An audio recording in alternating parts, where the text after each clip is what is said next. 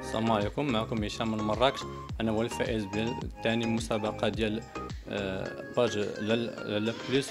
كنشكر Med Radio كنشكر Lalla Plus وسامسونج على هاد على هاد الجائزة. وتندعي الناس باش يشاركوا راه باقي مسابقة مستمرة في إنستغرام.